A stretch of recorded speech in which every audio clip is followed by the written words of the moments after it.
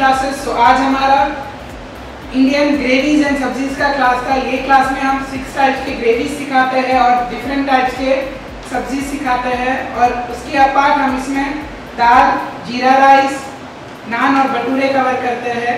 सो मैं आपको इसका क्लोज व्यू दिखाता हूँ कि आज की क्लास में हमने क्या क्या डिशेस कवर किए हैं। ये हमने बनाया है cheesy golden corn with yellow gravy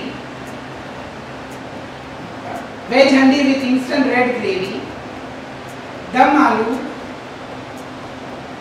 methi matar malai with white gravy palak paneer with green gravy paneer tikka masala with red gravy bhindi masala, malai kofta with makhani gravy कढ़ाई पनीर, दाल तड़का, जीरा राइस, नान, पिंडी छोले एंड ये हमने बनाया है भटूरे। फ्रेंड्स हमारी ये class कुछ नेहरू में है और हम लोग मंडे वर्कशॉप्स कंडक्ट करते हैं। अगर आप हमारे कोई भी क्लासेस के लिए इंटरेस्टेड है तो हमें जल्द से जल्द कॉल करें और अपना रजिस्ट्रेशन करें। थैंक यू अगर आपको वीडियो अच्छा लगा हो तो मेरे वीडियो को लाइक करें शेयर करें, मेरे चैनल को सब्सक्राइब करें और वो बेल बटन को भी प्रेस कर लेना जिससे कि आप हमारे साथ जुड़े